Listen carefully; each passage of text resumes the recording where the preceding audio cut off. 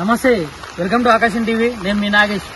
ఈరోజు మరి కాసేపట్లో వర్షాలని చెప్పేసి మనకి ఎల్లో అలర్ట్ జారీ చేయడం అయితే జరిగింది. మరి ఇక్కడ నిజామాబాద్లో అయితే ఉన్నాము. నిజామాబాద్ ఆదిలాబాద్ సిరిసిల్ల సంగారెడ్డి ఇట్లా కొన్ని కొన్ని ప్రాంతాల్లో అయితే వర్షాలు పడతాయని చెప్పేసి అయితే మనకి చెప్పడం అయితే జరిగింది. మరి ఇక్కడ చూసుకోండి ప్రజలారా ఇక్కడ రేకులు ఇంట్లో ఉంటున్నారు. తెలంగాణ వచ్చి పది సంవత్సరాలు అవుతుంది.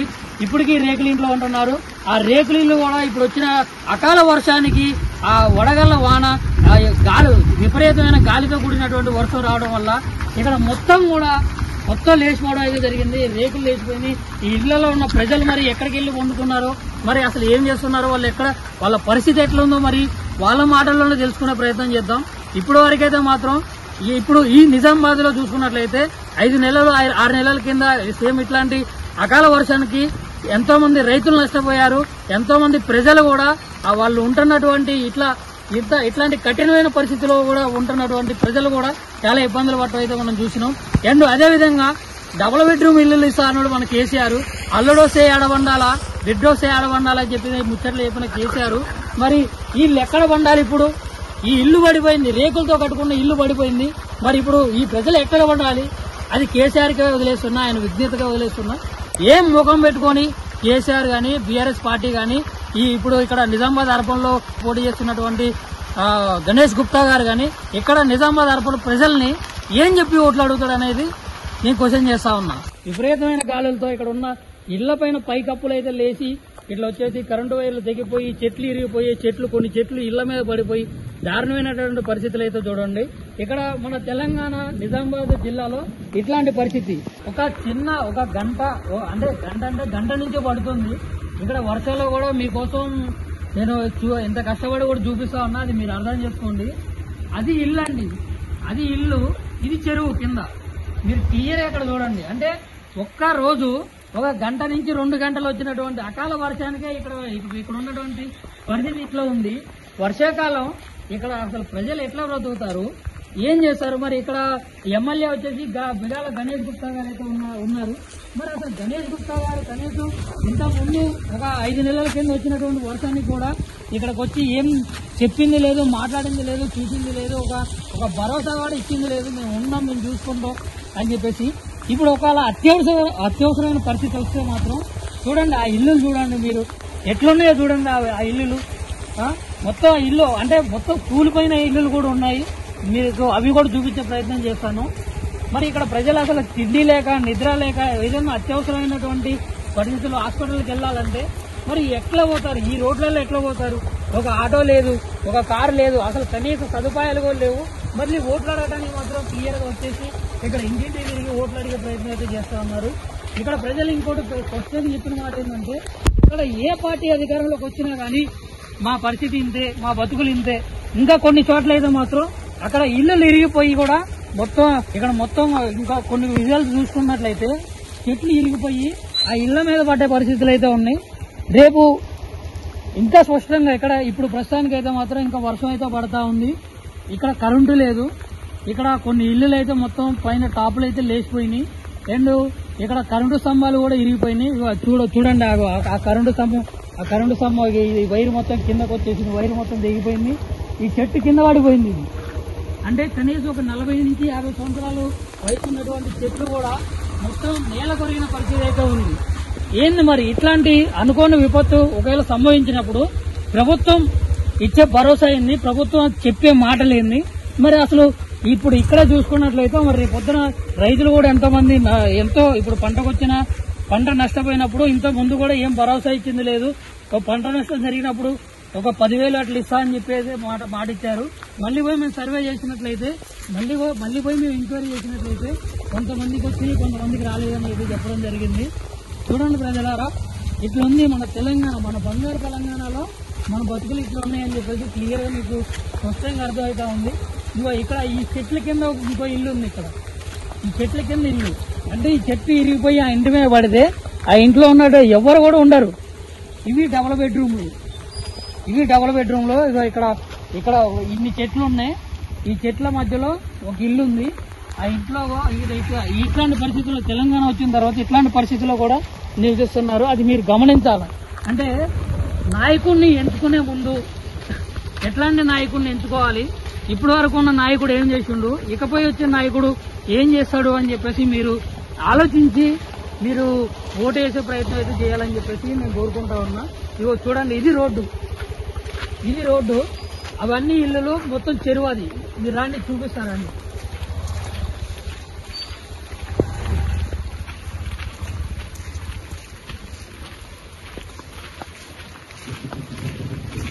చూడండి.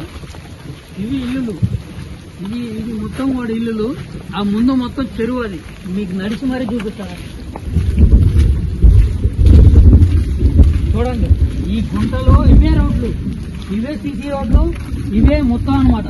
ఇట్లాంటి భయంకరమైన పరిస్థితులు ఒక్క వర్షానికి కింద చూడండి. ఒక్క వర్షానికి అగో అది ఇల్లు. అది ఇల్లు ఇది ఇల్లు. అక్కడ ఆటో కూడా పెట్టేసిండు. ఒకవేళ అత్యవసరమైన పరిస్థితిలో ఆటో బయటికి కూడా రాదు అది. మీకు అది కనిపిస్తుందో లేదో కానీ. అండ్ ఇగో ఇవన్నీ కూడా ఇల్లులు అయితే ఉన్నాయి. అండ్ మొత్తం కూడా ఇది రోడ్డు. ఇంటి రావడానికి ఇది రోడ్డు. అంటే వర్షం పడ్డప్పుడు మొత్తం వరద వస్తుంది అనమాట అంటే ఇక్కడ ఏంటంటే ఒక వర్షం పడితే కథం ఇంకా ఇంట్లోకి వెళ్ళి బయటికి వచ్చే పరిస్థితి కూడా ఉండదు. ఇక్కడ మరి నిజామాబాద్ అర్బన్లో ఇప్పుడు రాజకీయం కూడా రసవత్రంగా మారింది. ఇప్పుడున్న నాయకుడు అయితే చేసింది అయితే ఏం లేదని చెప్పేసి ప్రజలు చెప్తా ఉన్నారు ఇక్కడ. మరి ఇకపై వచ్చే నాయకుడు ఏం చేస్తాడు? ఏంది? అసలు ప్రజలు అసలు ఎవరు నిర్ణయించుకుంటారు? కరెక్ట్గా నిజామాబాద్ అర్బన్ని ఖచ్చితంగా కూడా డెవలప్ చేసేటటువంటి ఆ వ్యక్తి అనేది ఎవరు ఎవరిని ఎంచుకుంటారు అనేది మీరు ఆలోచించుకోండి. అండ్ మనం కూడా చూద్దాం. ఇక్కడ మీరు చూడండి ప్రజలారా ఈ మొత్తం కూడా చుట్టూరు రేకులు అనమాట ఇటు సైడ్ కానీ ఇటు సైడ్ కానీ మొత్తం చుట్టూ చుట్టూ మొత్తం రేకులు ఉంటాయి. పైన కూడా రేకులతో కప్పు. అంటే ఎంత విపరీతమైన గాలి వచ్చినప్పుడు ఆ రేక్ ఎగిరిపోయి ఒక మనిషి తగలడం గాని లేకుంటే ఒక చెట్టు కొమ్ము ఇరిగిపోయి ఆ ఇంటి మీద పడితే ఆ మనుషులు ఉంటారా అసలు ఉండరా అనేది మీ విజ్ఞతకే వదిలేస్తా ఉన్నా. అండ్ అదేవిధంగా చూసుకున్నట్లయితే ఇక్కడ మరి ఆ రేకులైనా చక్కగా ఉండాలి కదా. ఏ భయ అంటే ఎంత భయపడుతూ ప్రజలు ఇక్కడ బతకాలి తెలంగాణలో. చూడండి. మొత్తం లేచిపోయింది. ఏముండు? ఇంకా చీకట్లో మీకు అన్ని కూడా నేను చూపించలేకపోతున్నా. అక్కడ ప్రధానంగా చూసినట్లయితే మొత్తం కింద రోడ్డు చక్కా లేకపోయా? ఇంట్లో పోయే దారండి ఇది. వర్షం పడితే గిదా పరిస్థితి. ఇంట్లో పోయే దారి ఇది. వర్షం పడితే ఇట్లాంటి పరిస్థితి ఉంది. ఈ ఇంట్లో ఉంటున్నారు. మరి ఆ కప్పు ఎగిరిపోతే ఇప్పుడు చాలా మంది చాలా మంది కూడా అంటే మేము లే ఇక్కడికి వచ్చేసరికి లేట్ అయిపోయింది. ఆల్రెడీ మేము మొత్తం తడిసిపోయాము. ఇక్కడ ఏమైతుందంటే చాలా మంది కూడా కొన్ని ఇల్లు ఎగిరిపోవడం వల్ల ఇంటి కప్పులు వేసిపోవడం వల్ల ఇప్పుడు తిండి లేక నిద్ర లేక మరి వాళ్ళు అసలు ఎక్కడ ఎక్కడ నిద్రపోతున్నారు అనేది కూడా వాళ్ళకి తెలుసలేదు ఇప్పుడు. రేపు వచ్చి కూడా రేపు ఉదయం వచ్చి ఇక్కడ ఇంకా మరికొన్ని విజువల్స్ మరికొన్నటువంటి వీడియోస్ ఇక్కడ అసలు పబ్లిక్ పబ్లిక్ టాక్ అనేది అయితే ఇక్కడ తీసుకోవడం అయితే జరుగుతూ ఉంది. దయచేసి ప్రజలారా మీరు ప్రభుత్వాన్ని ప్రశ్నించాలన్నా లేకుంటే మీ చేతిలో ఉన్నటువంటి ఆయుధం ఓటక్కు దాన్ని సరిగ్గా వినియోగించుకోండి ప్రజలారా ఇవి ఆ రోడ్లు. ఇవి రోడ్లు అది మెయిన్ రోడ్డు. నిజామాబాద్కి బస్ స్టాండ్కి వెళ్ళి చూసుకున్నట్లయితే ఇక్కడ ఖచ్చితంగా రెండు మూడు కిలోమీటర్లే ఉంటుంది. మూడు కిలోమీటర్లు నిజామాబాద్ బస్ స్టాండ్ నుంచి మీరు ఇక్కడ నుంచి లొకేషన్ పెట్టుకున్నట్లయితే మూడు కిలోమీటర్ల దూరంలో ఇది ఆ పరిస్థితి. ఇవి ఆ రోడ్లు. ఇవి రోడ్లు. ఇది పరిస్థితి. ఇంకా ఇల్లు రాండి ఒకసారి. ఇవి. రేట్లు ఎక్కడ ఎక్కడ విరిగిపోయింది ఆ? ఇది. దగ్గర ఉంది ఈ రేకులు చూడండి. ఈ రేకులు ఇరిగిపోయినాయి. అంటే ఇది కూడా ఇల్లు అదో అది ఇల్లు. ఈ ఇల్లు మొత్తం పడిపోయింది అది. అంటే లోపలికి వెళ్దా అంటే కొంచెం భయం వేస్తుంది. ఎందుకంటే కింద పాములు కింద కొంటాయేమని మీకు ఇంకా రేపు ఉదయం అయితే క్లియర్ చూపిస్తా. ఇవి. రేకులు ఇల్లు రేకులే గోడ. ఇది రేకులు గోడ అనమాట ఇది. ఇట్లాంటి పరిస్థితి ఉంది ప్రజల ఇంకా ముందుకు రండి. ముందుకు ఇగో ఈ రోడ్డు ఈ కథ. అంటే వాటర్ అనేది ఇక్కడ నిలిచిపోవడం వల్ల ఇది ఒక ఇంటి నుంచి ఇంకో ఇంటికి పోవడానికి దారి అండి ఇది. ఈ దారి ఈ బురదలోకి వెళ్ళి ఇట్లా పోవాలి? అంటే వర్షాకాలంలో మరి నీళ్ళు నిల్వ ఉంటాయి. నీళ్ళు నిల్వ ఉన్నప్పుడు ఇక్కడ దోమలు వాటి వల్ల ఎన్నో రోగాలు మరి వాంతులు విరోచనాలని ఒక జనం తగిలితే ఖచ్చితంగా ఒక ఒక ఒక ప్రభుత్వ ఒక ప్రైవేట్ హాస్పిటల్లో చూపించుకునే పరిస్థితి కూడా వీళ్ళకు ఉండదు. వీళ్ళు రోజువారీ కూలీ చేసుకుని బతికేటటువంటి ప్రజలు. మరి వీళ్ళని ఇట్లాంటి దారుణ పరిస్థితుల్లో తెలంగాణ గవర్నమెంట్ ఇట్లా వదిలేస్తే ఎట్లా? డబుల్ బెడ్రూమ్లు ఇల్లులు ఇస్తా అన్నారు చెప్పారు మరి. డబుల్ బెడ్రూమ్ ఇల్లులు ఎక్కడా పోయినాయి? ఇక్కడ ప్రజలను అడిగితేనేమో మేము చెప్తాము మేము అప్లికేషన్లు పెట్టాము తిరిగాము. రెండు జతల చెప్పులు అరిగిపోయినాయి కానీ మాకు డబుల్ బెడ్రూమ్ ఇల్లు వస్తలేదని చెప్పేసి ఇక్కడ గోస పెట్టుకుంటున్నారు ప్రజలు. మరి ఏ ముఖం పెట్టుకొని బీఆర్ఎస్ వాళ్ళు మళ్ళీ వచ్చి ఓట్లు అడుగుతారు ఇక్కడ ప్రజల్ని అని చెప్పేసి నేను అడుగుతా ఉన్నా. ఏంటి ఇక్కడ చూసుకోండి. ఈ రోడ్డు కానీ ఈ రోడ్డు ఈ గుంటలు రోగాట్లో గుంటలు ఉన్నాయి ఇక్కడ. వీడియో వీడియో కట్ చేయమా వచ్చేసాయి ముందుకు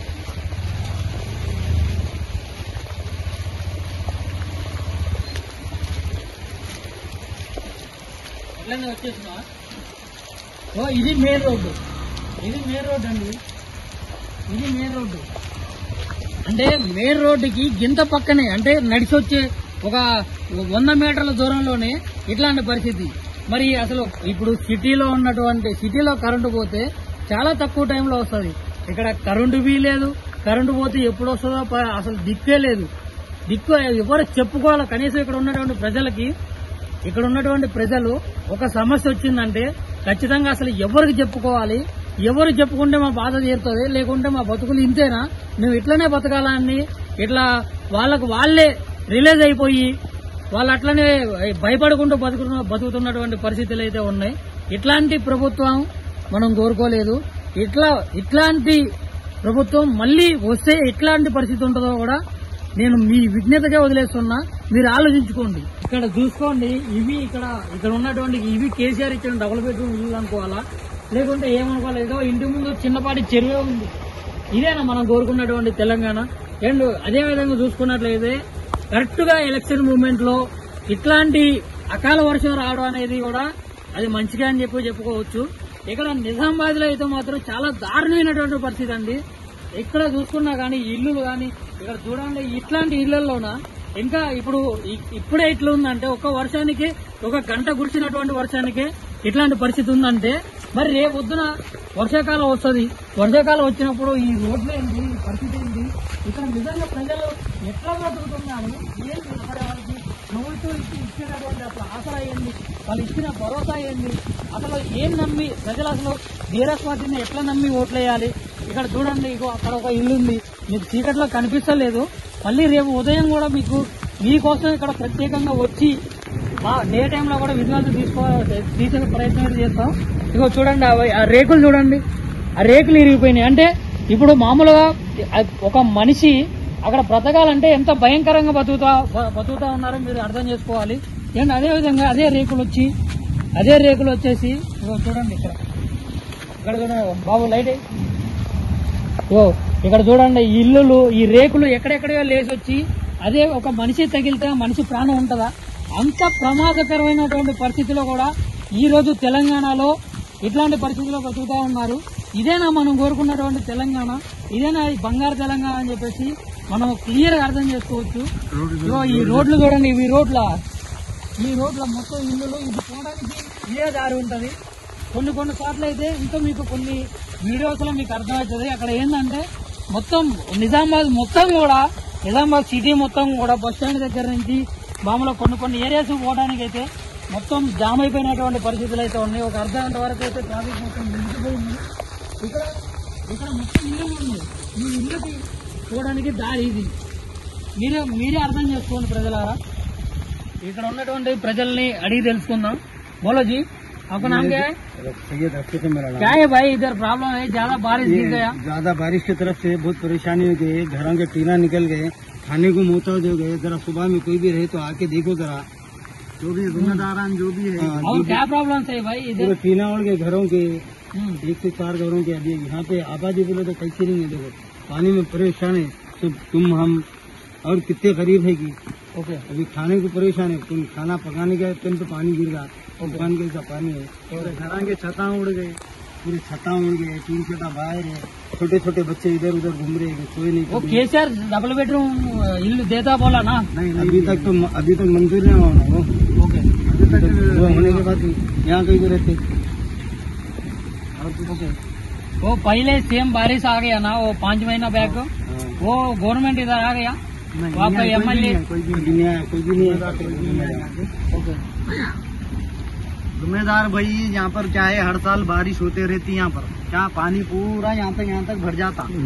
और कोई भी जो भी जिम्मेदार जो है यहाँ पर वहाँ आके देखते नहीं कुछ भी नहीं। क्या अभी भी आज भी ऐसी छो गया सो ये घरा के पूरे टीना उखड़ के गिर गए सो है। क्या? अब क्या है मेहरबानी होती जो हुकूमत से? जो भी यहाँ के जिम्मेदारान हैं आके जरा सुबह में जरा सही करके दिए जरा देखे करे तो अच्छा रहता भाई वहाँ के यहाँ से। और क्या है आज शाम में शाम का खाना भी नहीं है और क्या है सुबह का खाना भी होता है कि नहीं कि नहीं मालूम। क्या? पूरे घर के छता उड़ गए सो है पकाना बिकाना पहनने कपड़े तक नहीं है। क्या वही कच्चे कपड़ों में फिर रहे भाई? वो वही एरिया में वो रोड भी सही नहीं है ना। आओ ये क्या है ये रोड़ा एक भी नहीं है नाली नहीं है कुछ भी नहीं है भाई मीठा पानी नहीं है नला नहीं है। क्या? अब क्या कर रही भाई हुकूमत ओके और क्या है भाई इलेक्शन का परेड है क्या ओके हम जिताते जिताने वाले को मगर जो आके देखा भाई हमारी जो हेल्प करा उसको जिताते हम ఓకే राइट ఇప్పుడు ఇప్పుడు ఈ ఎలక్షన్స్ మూమెంట్ లో ఇట్లాంటి అకాల వర్షం రావడం బీఆర్ఎస్ పార్టీకి కొంచెం నష్టం జరిగే అవకాశం ఉందంటారా అవును ఉం? ఉంది. ఉం, ఓకే ఎట్లాంటి అంటే ఇప్పుడు మరి ఎట్లాంటి నష్టం జరుగుతుంది అంటారు పార్టీకి మరి అసలు ఇప్పుడు ఇక్కడ ఉన్నటువంటి ప్రజలు ఏ పార్టీని ఎంచుకోబోతున్నారు अब भाई देखो इलेक्शन का परेड है क्या अब ओके। कोई सी कोई सी पार्टी आती क्या है हम तो नहीं बोल सकते यहाँ पर जो हमको आके देखेंगे हम उसको उसको छोड़ डालेंगे ఉం. क्या ఉం. बस इतना। ద- చూడండి ఇక్కడ ఇక్కడ మెయిన్ రోడ్ ఇది మెయిన్ రోడ్ లో ఈ వైరు అంటే అక్కడ స్తంభం ఇది పడిపోయింది ఇది మెయిన్ వైర్ ఇది పడిపోయింది ఇక్కడ ఇగో బోర్డులు. ఆ బోర్డు కూడా మొత్తం ఊడిపోయి ఇక్కడ వైరు వైరు పరిస్థితి ఇది అంటే ఇది పడిపోయి కనీసం గంట సమయం అవుతున్నా కానీ ఒక ఇక్కడ ఇక్కడ ఉన్నటువంటి అధికారులు దీని మీద స్పందించి కనీసం ఈ వైర్ని పక్కన రోడ్డు పక్కన తొలగించే ప్రయత్నం కూడా చేయలేదు. మీరు చూడండి ఇక్కడ నిజామాబాద్లో ఎట్లాంటి కాలం మొత్తం వైర్ పడిపోయింది.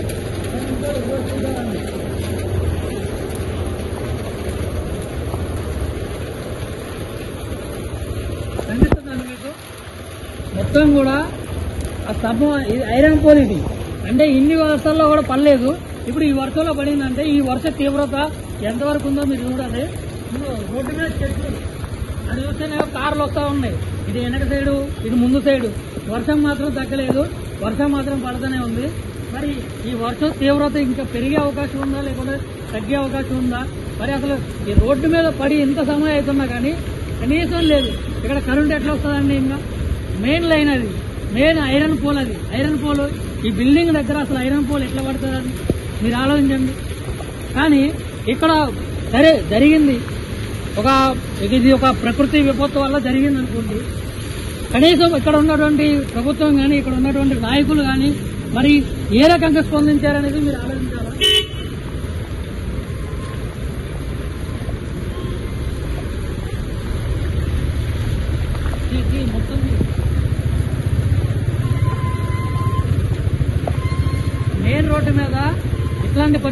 ఉన్నాయి ఏదో గడప గడప ప్రోగ్రాం అని చెప్పేసి ఇట్లా పాంప్లెట్లు ఇచ్చి ఉంటారు మా పార్టీని గెలిపించండి మాకు ఓట్లు వేయండి అని చెప్పేసి ఇక్కడ ఉన్నటువంటి పార్టీ నాయకులు అంటే అధికార పార్టీ కానీ లేకుంటే ప్రతిపక్ష పార్టీ కానీ నాయకులు అయితే అడగడం అయితే జరుగుతూ ఉంది. మరి ఏ నాయకుడు వచ్చిండు ఎలక్షన్ టైం ఒక రెండు మూడు రోజుల టైం ఉంది. ఈ రెండు మూడు రోజులు ఆల్రెడీ ప్రచారం కూడా ఆగిపోయింది. ఈ రెండు మూడు రోజుల టైంలో ఇదే టైంలో ఇట్లాంటి విపత్తు అనేది సంభవించడం కూడా ఒక తెలంగాణ రాష్ట్ర ప్రజలకి మంచిదనే అనుకోవాలి వాస్తవానికి. ఎందుకంటే అప్పుడే కదా ఏ నాయకుడిని ఎంచుకోవాలని చెప్పేసి అక్కడ ప్రజలకి అర్థమవుతా ఉంది.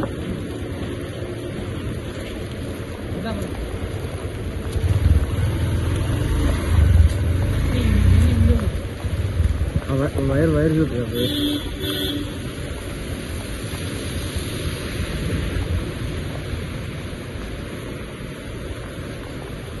నిజామాబాద్ అర్బన్లో ఇది పరిస్థితి అని చెప్పేసి క్లియర్గా చెప్పొచ్చు. ఈ స్తంభంలో ఈ ఈ చెట్లు ఇరిగి పడిపోవడం వల్ల ఈ వైర్లు ఇట్లా ఉన్నాయి. ఇక్కడే కాదు ఈ వర్షంలో మేము అన్ని ఏరియాలో కవర్ చేయలేకపోతున్నాం. కాకపోతే సాధ్యమైనంత వరకు అయితే మీకు ఇంకా మరికొన్ని వీడియోస్ కానీ విజువల్స్ కానీ చూపించే ప్రయత్నం అయితే చేస్తాను. ఇక్కడ ప్రతి ఏరియాలో ప్రతి దగ్గర చూసుకున్నా కానీ సేమ్ ఇదే పరిస్థితి అండి. ఇట్లా రోడ్డు మీద ఉన్నా కానీ ట్రాఫిక్ మొత్తం జామ్ అవుతున్నా కానీ ట్రాఫిక్ మొత్తం ఆగిపోతున్నా కానీ అండ్ అదేవిధంగా చూసుకున్నట్టయితే నిజామాబాద్లో అసలు ఏం అభివృద్ధి జరిగిందని చెప్పేసి ఇక్కడ ప్రజలు అడుగుతా ఉన్నారు. ఇంకోటి ఏంటంటే ఇక్కడ ముఖ్యంగా చూసుకున్నట్లయితే ఈ వర్షం వరదల వల్ల నీళ్ళలో అంటే నాళాలు మొత్తం క్లోజ్ అయిపోయి నాళాలు పొంగిపోయి ఇట్లాంటి పరిస్థితులు కూడా ఉన్నాయి. మీకు ఆ వీడియోస్ నేను చూపిస్తాను కొంచెం ముందుకు పోతాయి. ఇప్పటికే చాలా లేట్ అయిపోయింది. అండ్ ఇవి ఇప్పటి వరకైతే మాత్రం ఇవి అన్ని పడిపోయినా కానీ ప్రభుత్వం కానీ ఇక్కడ ఉన్నటువంటి అధికారులు కానీ స్పందించే పరిస్థితి అయితే లేదు.